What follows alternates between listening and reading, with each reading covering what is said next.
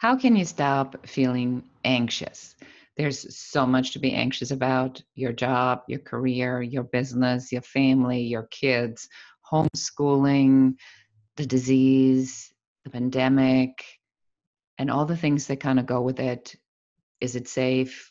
The uncertainty. So, what can you actually do about it? My name is Beate Chelette.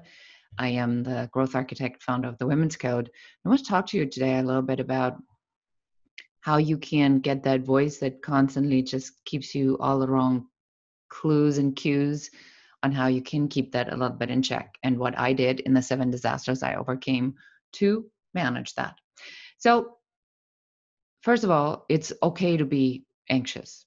It's okay to have feelings of uncertainty. It's okay to be afraid because those are feelings. The overwhelming part only happens when you let that actually take over. So I always ask myself when I have a particularly strong emotion, which is what I'm recommending you to do, is ask yourself, is this true? So right now, a lot of people are extremely anxious because they've been at home, they can't do their normal routines, their routines have been changing, and they are anxious about uncertainty. Well, sometimes you don't know what the second step is until you've taken the first step. So let's take the first step.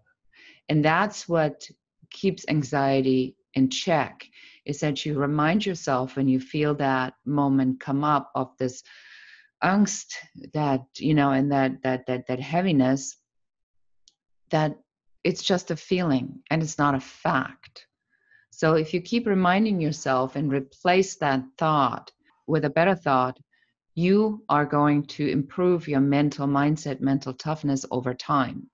So it's practice. So it's just as easy to fall into all these negative thoughts as it is to replace your negative thoughts with positive thoughts. The trick, however, is in the self talk to get out of anxiety is it has to be stuff that actually sounds true.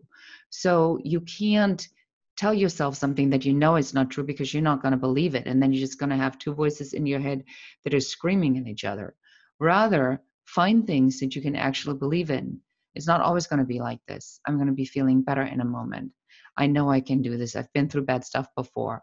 And you keep reiterating yourself these positive mantras again and again and again until you start to believe the positivity as much as you have learned to accept the negative.